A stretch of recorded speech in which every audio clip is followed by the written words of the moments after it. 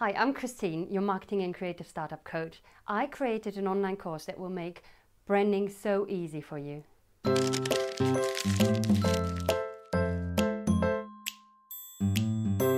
What is it that you're gonna get out of my online course, Branding Made Easy?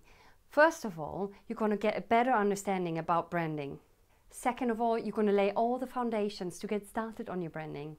And third of all, you're going to actually get started on your branding. You're going to create a logo, you're going to define your colors, you're going to know what you're going to stand for, define your mission statement, look at your values, look at the competitors to make sure you be different from your competitors.